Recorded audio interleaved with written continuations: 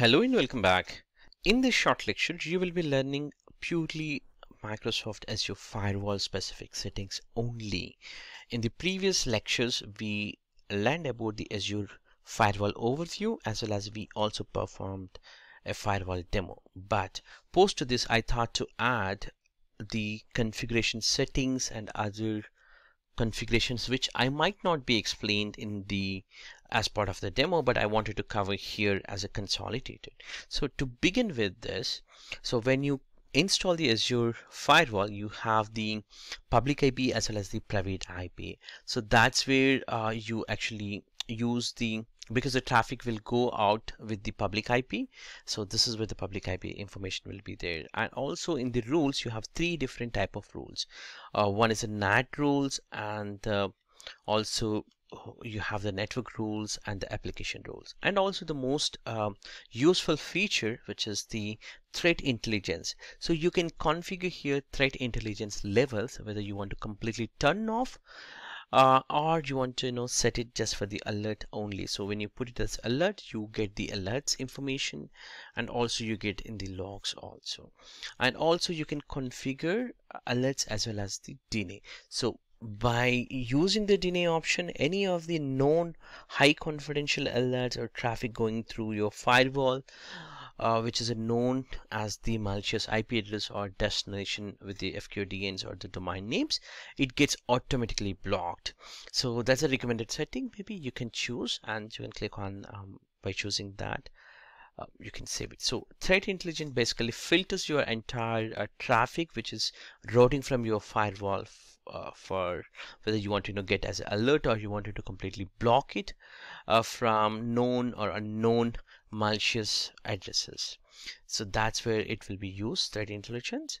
And also this entire firewall services are moving to the firewall manager as a preview. So here it's going to change the complete view uh, to the next generation preview. So which is not scoped at this point of time. And these are the firewall uh, properties. So these values you can't change it definitely. But if at all you want to you know see your Azure firewall whether this firewall deployed firewall is in a availability zone or what subscription or what are the resource IDs all that information you can find out from the properties of your firewall under settings. And uh, this is a logs for any other Azure Blade you have similar option. And the metrics is uh, monitoring. This is where you can filter you can choose and you can get more um, realistic firewall monitoring uh, metrics like data processed which is went out uh, the or incoming that information you can put or you can get it as the data process or application rules only hitting or maybe network rules filter or SNAT port utilization. So all that way you can filter based on the metrics.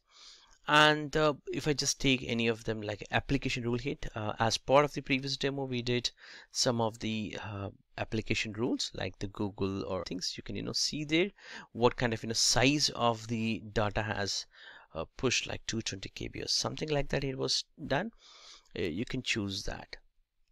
And also uh, let me you know show you here like you know 800k it is looks like and that's what the data specific. And you can drill down further level by integrating with your log analytics services. Uh, even for the data uh, dashboards you can simply click on advanced filter. So this is where you have the options. So these are additional filtering options uh, to get more REST-based API specific chats uh, which are default sometimes. Some of them are not. And uh, that's about the metrics I would say. And uh, let me go back to diagnostic settings. Uh, so here if you just add any of the diagnostic settings options you can uh, configure based on the streaming or exporting or platform logs to your uh, specific to diagnostic destination so that you can check later point uh, with the different logs. And coming back to the log analytics services this is a additional offering from the Microsoft.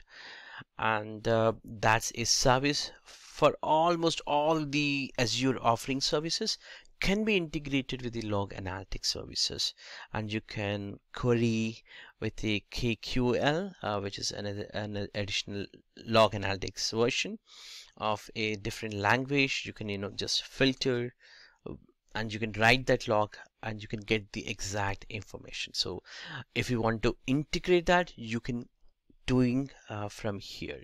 So in our case we have not done any kind of you know, integration with the log analytics services but if you're interested you can click on get started. So we talked uh, almost everything uh, like the rules like NAT rules. So these are the NAT rules which we don't want to do it anyway. But if you want more information on DNAT or NAT rules you can check out here the rules and the protocols all over DNAT all that can be done. These are the examples for the network rules uh, like LODINE which we have already played in the previous demo. And uh, coming back to the these are the same thing like you know we just tried with the uh, HTTP now you can also try with SSH or any other protocol which you know. And also application specific also we tried uh, like inbound outbound also you can apply application specific rules. And NAT uh, outbound specific rules also can be done I hope this entire uh, demo is useful for you uh, please do check out the resources for additional learning material that would really helps you to understand more. Thank you for watching this.